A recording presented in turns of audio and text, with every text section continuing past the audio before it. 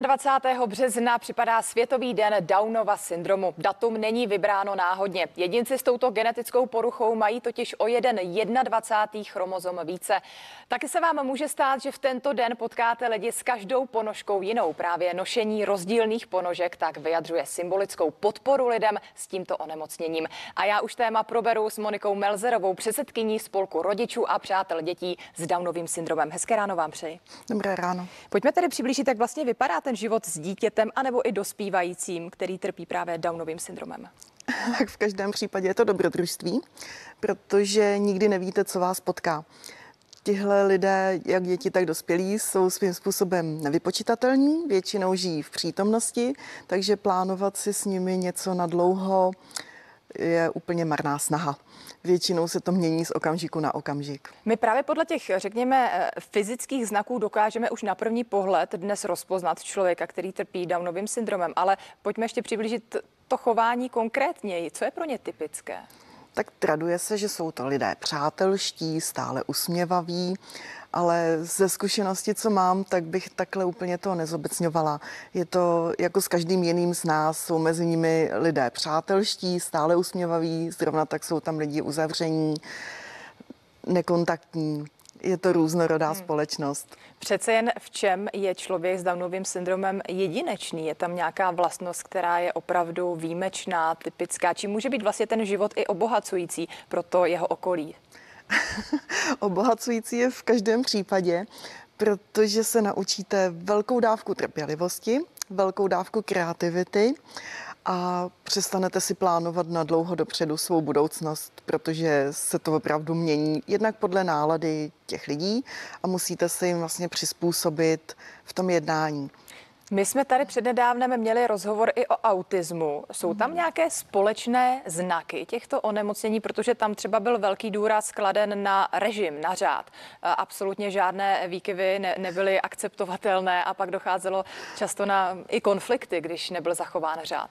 No pokud nastavíme takový ten, ten běžný řád, tak je ten život jako jednodušší, protože ti lidé se v něm lépe orientují ale že by zase všichni úplně striktně, tak jako je to u autistů, vyžadovali ten pevný režim, to zase až tak není. Je to jako s náma, někdo má prostě pevně nalajnováno a je v tom spokojený a někdo zase má rád ty výzvy.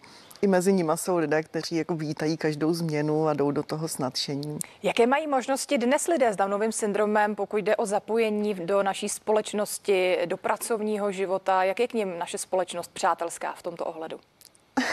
My bychom si přáli, aby byla daleko přátelštější, aby těch míst, kde je zaměstnají různé firmy, bylo stále víc a víc, ale pořád se to ještě nedaří. Ale je to spíš v, tom, v těch předsudcích, v těch bariérách v nás, té společnosti, protože je spousta prací, které by zvládly.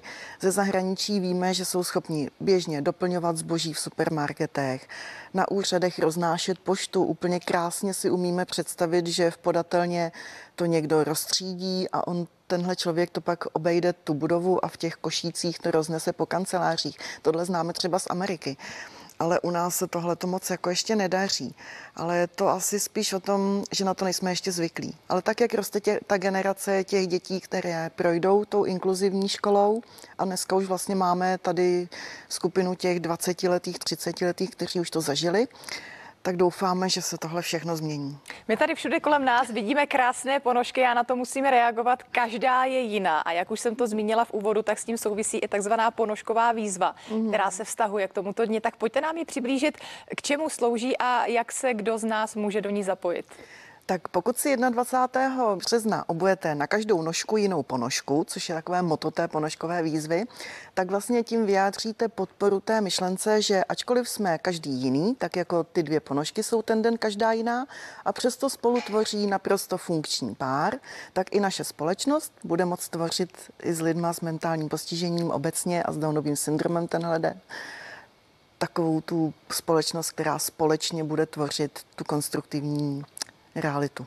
To je samozřejmě taková eh, podpora, řekněme, nepřímá, mm. možná psychická, ale je i nějaká možnost, aby lidé pomohli konkrétně, teď myslím finančně, eh, ať už konkrétním rodinám, nebo se dozvěděli třeba více o těch příbězích?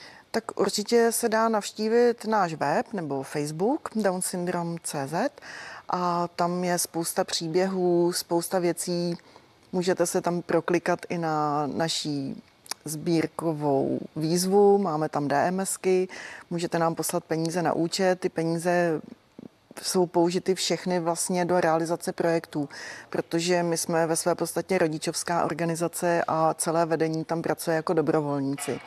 Takže všechny peníze, které nazbíráme, jdou na podporu těch projektů. Napadá mě ještě, pokud nás právě teď sledují rodiče, kteří se třeba přednedávnem teprve dozvěděli tuto diagnózu mm. o svém dítěti, mají i nějakou možnost se s někým poradit nebo zkrátka jakou péči vy jim poskytujete i v tomto ohledu?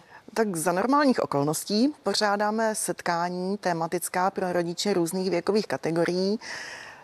To je taková pilotní projekt nebo pilotní loď naší organizace, že se snažíme si předat ty zkušenosti. Tím, že jsme rodičovská organizace, tak u nás nenajdete ty vystudované odborníky, kteří budou chytře radit, ale nemají osobní zkušenost. My jsme všichni vlastně rodiče a žijeme v té realitě. Takže kdokoliv se přijde zeptat, tak se od nás dozví skutečně, jak probíhá ten reálný život se všemi nástrahami a radostmi. A můžou chodit na skupinky, kde se setkávají celé rodiny a sourozenci, protože stejně tak důležité jako pracovat s rodičema je důležité pracovat i s těma sourozencema, protože ty v té realitě taky budou žít. A pak je možné využívat vlastně terapii, které nabízíme a tam už jsou ti odborníci, různé logopedie, chirofonetiky, my moc děkujeme za představení nejen ponožkové výzvy a, a dne Downova syndromu, který tedy připadá na neděli 21. března, ale i za takový stručný náhled toho, jak to vlastně vypadá v životě eh, člověka s Downovým syndromem i v jeho okolí. Tolik eh, Monika Melzerová, předsedkyně spolku rodičů a přátel dětí s Downovým syndromem. Děkujeme. Děkuji. A teď už je čas přidat v novém dni taky samozřejmě sportovní události. Ty se dnes budou